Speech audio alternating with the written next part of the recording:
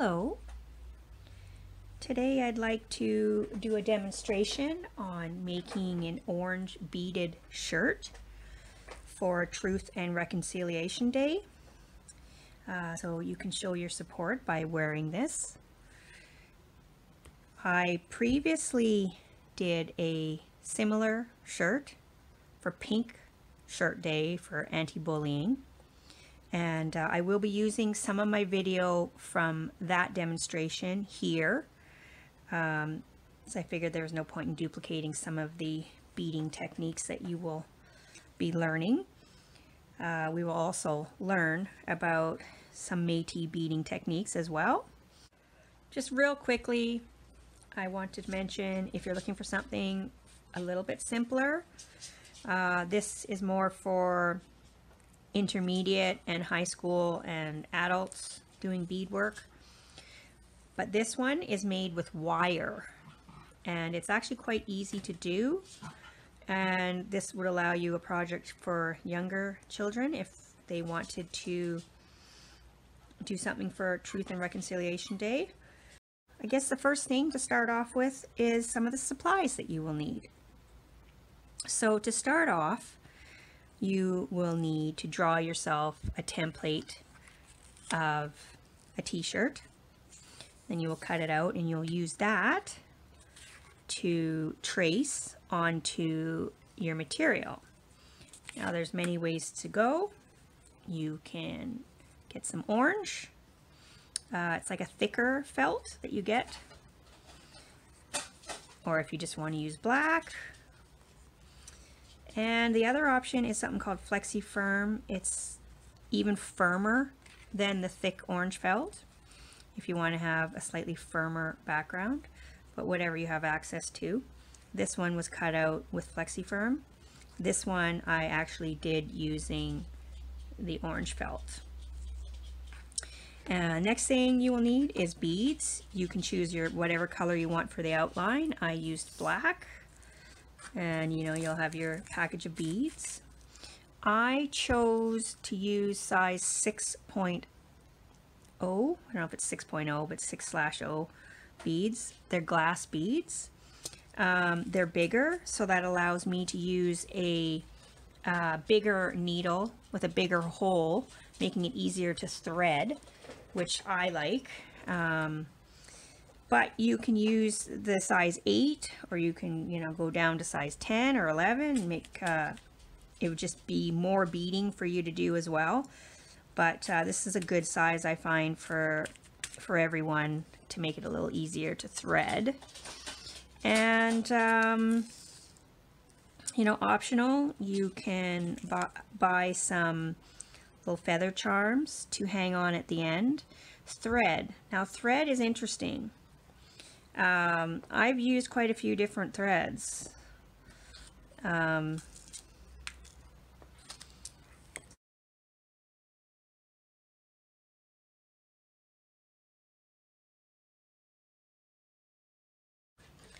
So you'll also need needles and I like using the sharps because if you're using something like the FlexiFirm, you do need like a stronger needle. And the sharps had bigger holes. But I was having trouble with some of the beads having different, even though they're supposed to all be the same, some of them actually would not fit over these sharps because they do have a bigger head on them. So I eventually went back to using beading needles, which are fine because I was using the felt and I didn't have any trouble using it, but it's very hard to thread. Very, very small. So luckily I have some magnifiers, but when I did the pink shirt, these beads I bought were all very uniform and I had no trouble at all using the sharps. So there's the beads, I mean the needles. And then optional, you can have, you know, get yourself some sort of threader. I will demonstrate this later on. And optional is if you want to put a backing on here, um, or like the pink one, I did a backing and put a bar pin on the back. I'm probably just going to be using this style of pin for this one, which will require some strong glue and I will just, this glue is very great. It works well.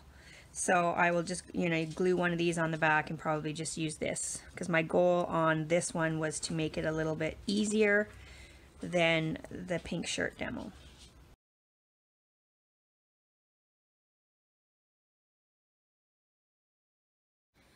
Okay, so once you've traced out your pattern and cut it out or use the Cricut machine or however you're going to get your little pattern, we will begin by doing the outline first. We will get some black beads and we will bead all the way around the edge and then we will fill the inside in with orange beads. Now for those of you that have watched my pink shirt demo video, this is a completely different way of how to start the shirt. On my pink shirt one, we actually did not cut out the shape first. We traced it onto a square. And then we used the traced t-shirt and we began beading all the pink inside the lines of the tracing that we did.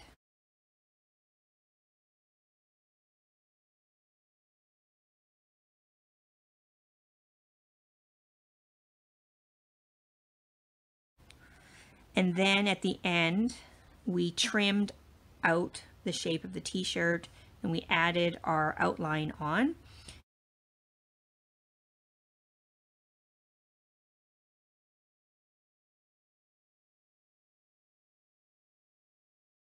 And then we did a backing and pin. So there's so many different ways that you can begin this. On this one, I was trying to simplify it a little bit. So just, you know, just giving you an idea, just to jump ahead a little bit, is I beaded the outline here. And then I've begun filling in the orange. And as I said, this is a, another way of doing it. And I will just quickly show you the beading technique, but then we will jump ahead to my pink shirt demo uh, where I actually show you the the beading technique in better detail. But basically what we're doing is the beading technique is grabbing four beads, dropping the beads down, sorry it's kind of dark here, okay, then I'm positioning the beads where I want them with my thumb, at the top of the four, I'm going down.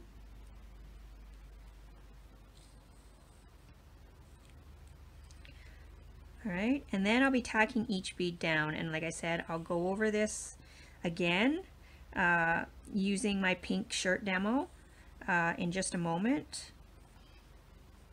But basically you're going back down each bead and I will slow this down for you in a moment. You're going to be doing that.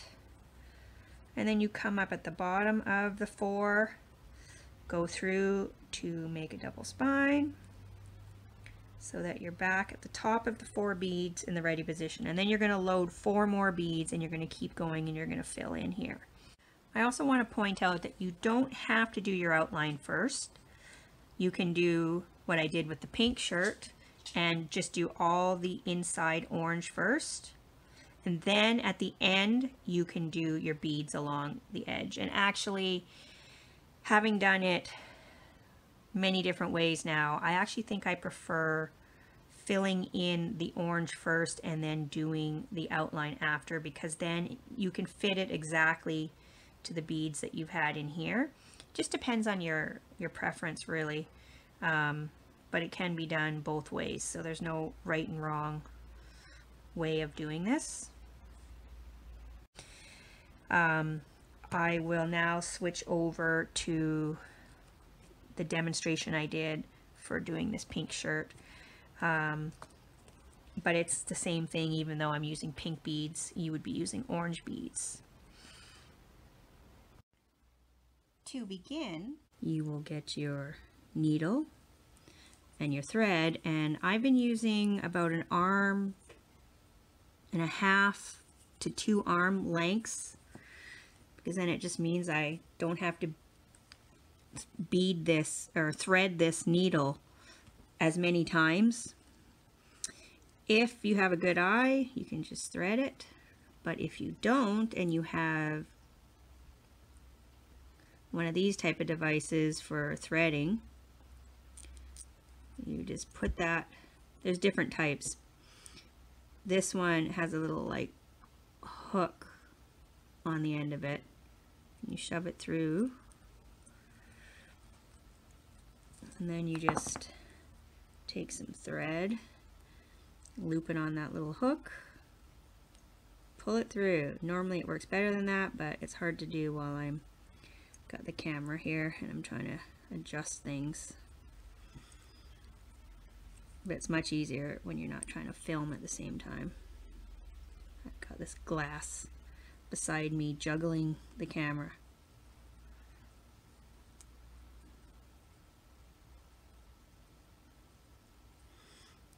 But usually when I use it, it's a lot easier than that. Okay, so there you have that. And you put your knot at the end of the thread. There's many different ways to do a knot. The way my mom taught me was to wrap it around my finger a few times and then I kind of just roll it down like that, pull with my nail like that and it forms a little knot. And we're going to be putting a backing on this material so it really doesn't matter that there's a big knot on the back because it'll be covered.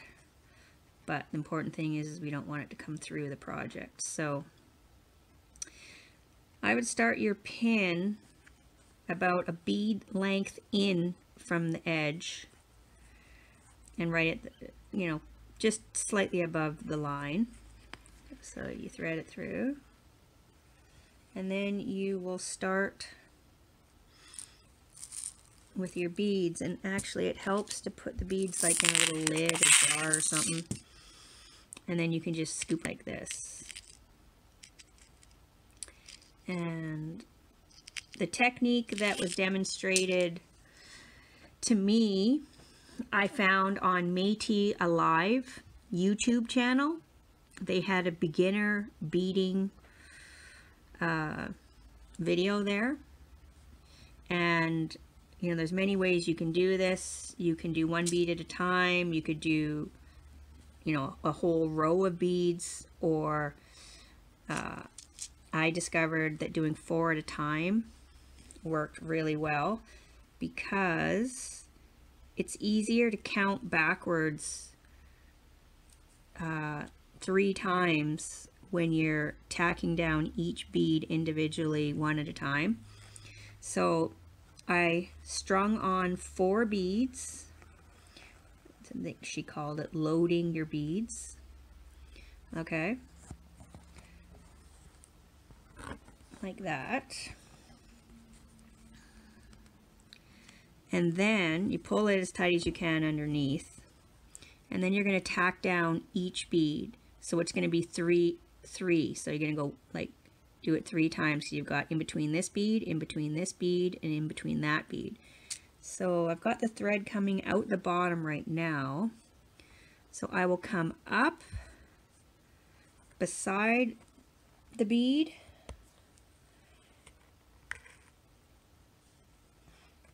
and then I will go down the opposite, like the other side of the bead that I came up.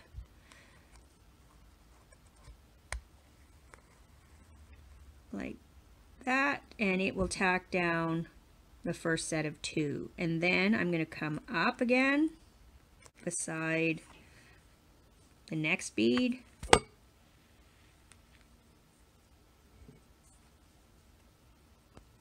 And sorry, up and then down. It's always up and then down. So I've done that twice now.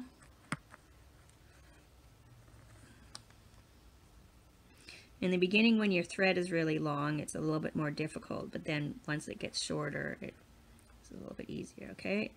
And I've got one more to go, the third time. I tried doing this with a bigger row, but then I would get lost on where I was with tacking down. So I load four, then tack down three times. I'm at the bottom, so I'm going to come up at the bottom, very bottom bead. And the way they described it on the Métis Alive website is you make a double spine by coming through the four that you just did, pulling this through, and now you're in the ready position. So it's coming through the middle, and you're in the ready position to load your next four beads. And so you will just keep loading another four beads, and you will repeat the same thing. And you will do this until you've formed a line straight, just straight up to the top here. And then you will continue at, and do another line right beside it. And you'll find it's a little bit easier once you've got the first line in. You'll start another line, you'll start right about there. And you'll go up and you'll stop when you get to this line. And you'll and same thing you just keep going filling the shirt in all along here stopping like this line should have more beads and when you get to this point you're going to have you know a couple less beads. Uh, the beads do vary in size in some of them so it might not be exactly the same each time. Like this row here might not be the same as this row here I will come back on when I've got this part filled out and just quickly go over the sleeve. I should also share what you do when your string runs out and you have to start over. Um, when you get to the end of your thread, I mean, I, this is just a demo, so I still have a long piece of thread, but let's say I wanted to end now, my project, and I still doesn't matter how much string I have. Let's say I just want it to end. Um, you would make sure you're ending up on the bottom of the project, which in this example, this is the bottom. And then you can just um, go like this. Okay. And you pull your thread till there's like a small little loop. And then you go through the loop. And that will make a knot. And you know do this a couple times to make sure that your piece is finished at the end.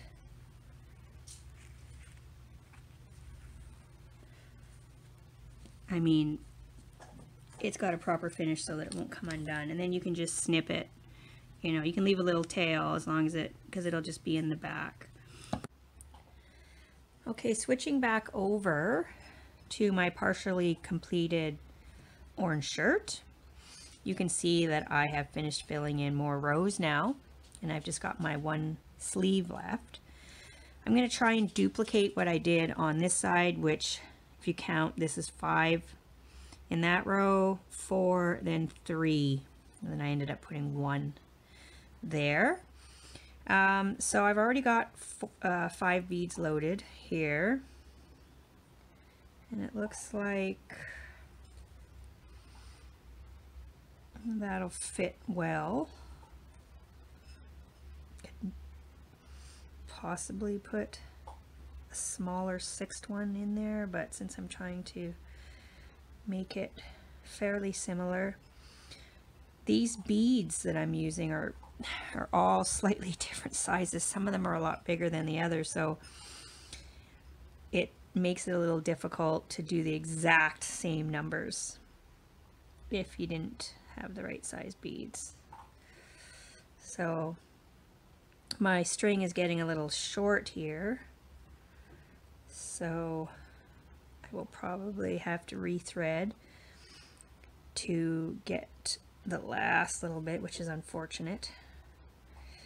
It just makes it hard to do when the string is too short. So I can kind of demonstrate what I try to do, I mean, I, I did demonstrate already how to sort of tie off your, your end. So I've got the string coming underneath, which is kind of nice. So instead of cutting this off, what I'm going to use it for is I'm going to tie it to the next piece that I start just to give it some extra reinforcement from coming loose. Okay, so I've got my new thread with a knot on the end. And what I'm going to do is start it thread it through a couple times. And then what I'm going to do with my leftover piece is tie it to the new piece. Just tie a knot in there like this.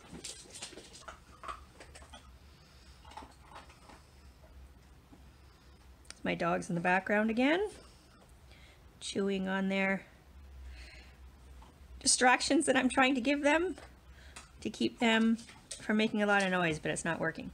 Okay anyway so now I've tied this off really nicely so that's what I've been doing a lot now is just to feel a little bit safer because I don't want all my beading to come out okay so now I'm going to come up right about there, I guess. Actually, I think I'm going to move down a teeny bit more. Okay. And I'm going to string on four.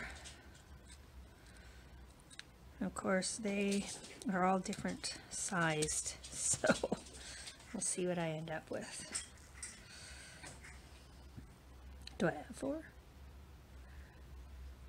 One, yeah, I have four, but that one there is really small. So, um, yeah, I think I have to take off that small bead which if you watched my pink shirt demo there is an easy way for doing that and if you get a pair of pliers actually do I have one? I have some right here good then you don't have to rethread again. You can actually just take the bead that you don't like and snap it off. Just break it. Maybe, because I don't know how good these pliers are. Okay, so there's my four. That should work. So probably it would be better when you break a bead to maybe put a cloth over top of the bead before you break it.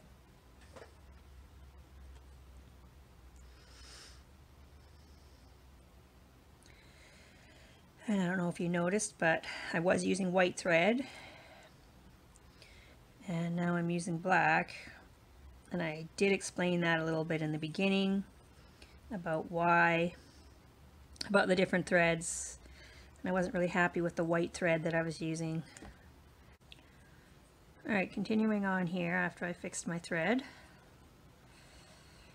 Tack these guys down.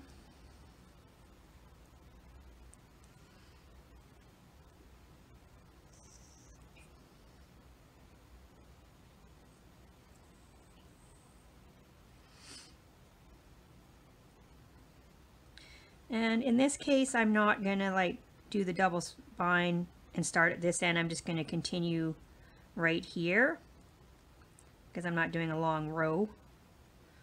So I'm going to try for three now. Three beads.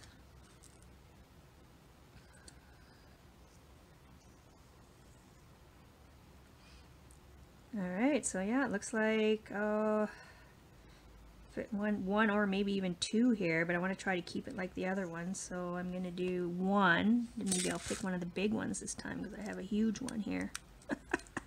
one that's like two. Let's see. That might actually even be too big. But it'll work. I'll make it work.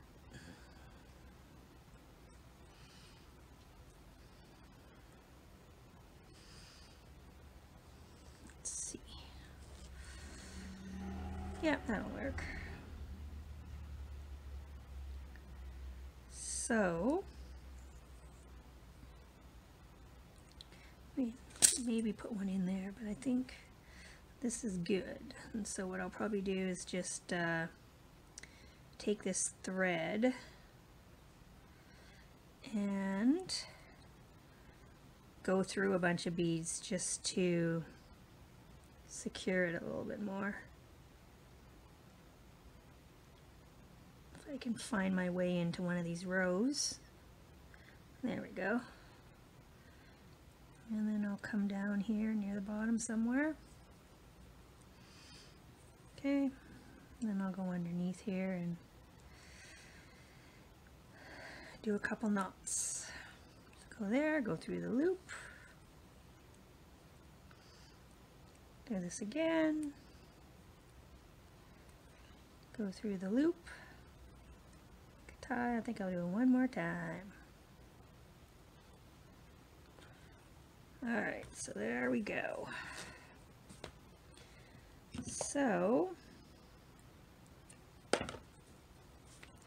there you have your orange shirt.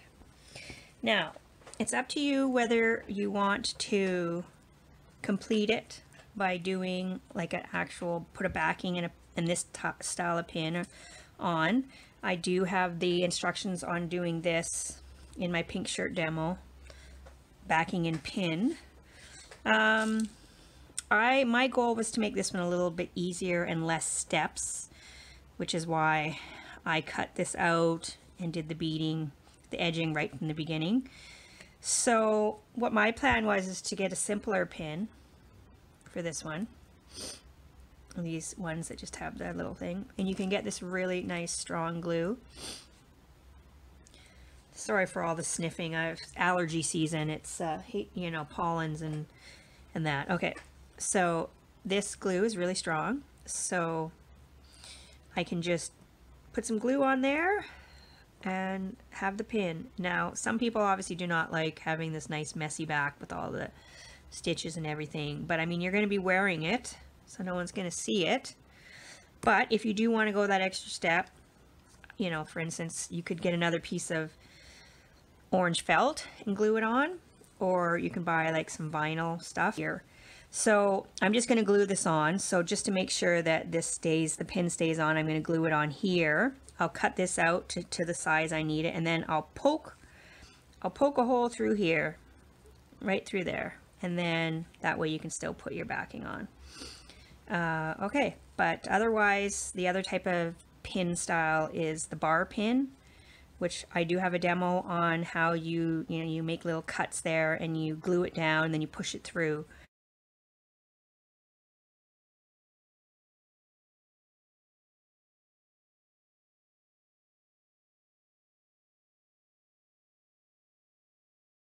Um, so that's another style. And then you can buy little feather charms and hang um, a feather on there. But I think that's about it for, for the demo. Um, so I hope you have fun beading your shirt. I enjoy doing beading. find it quite relaxing and it gives me something to do when I want to watch some TV, but I don't feel like sitting still, doing nothing. Um, so this makes me feel like I'm also doing something while I'm watching TV. Anyways, uh, I hope this helps some of you. So enjoy.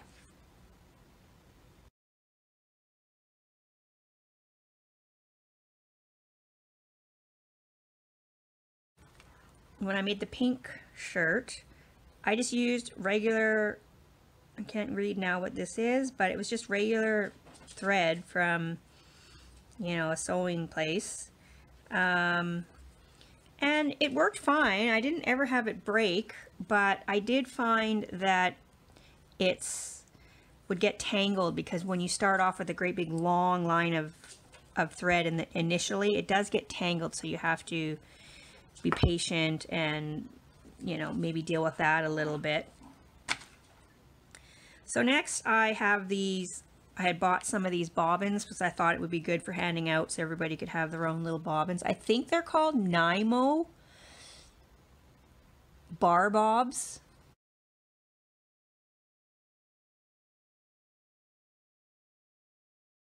Spelled N-Y-M-O.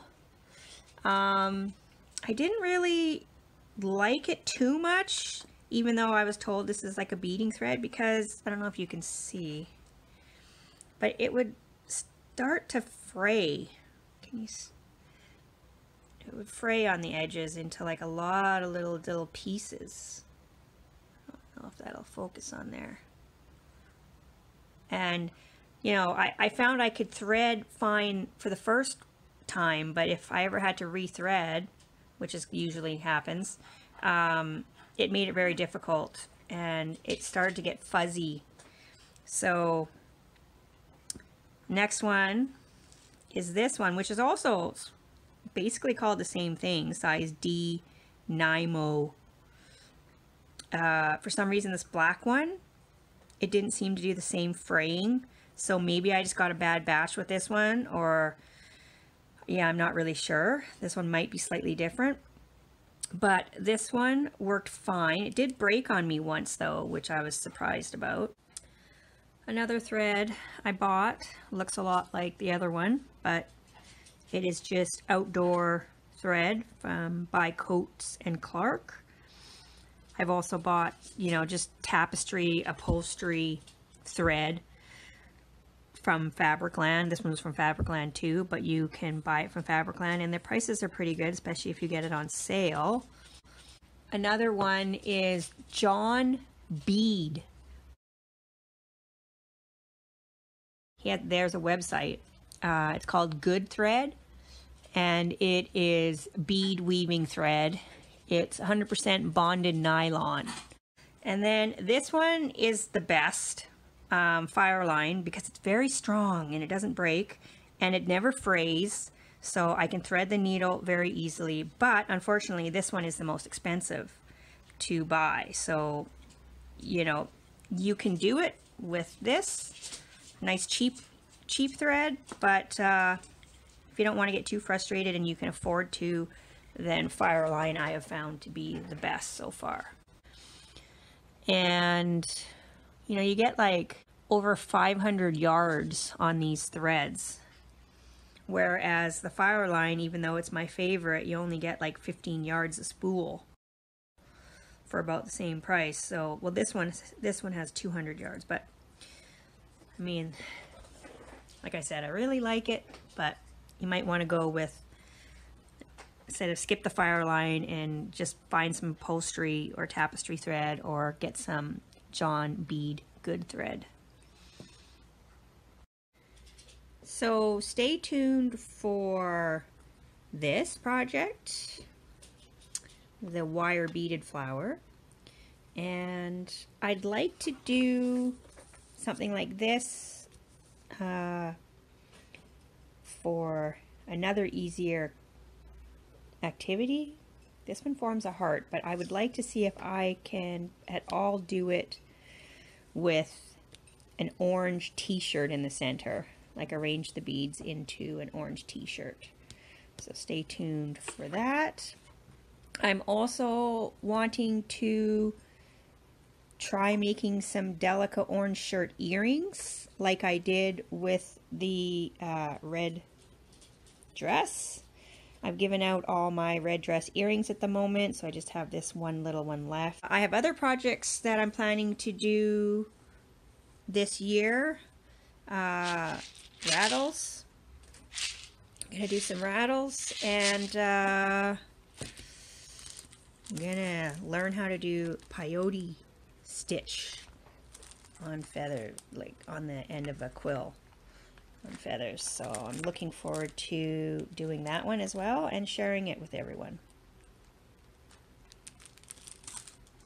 I already have a tutorial uploaded on doing the red dress earrings but stay tuned for the rest. If you subscribe to my channel, then you'll be notified every time I upload a new video. Thanks, everyone. Take care.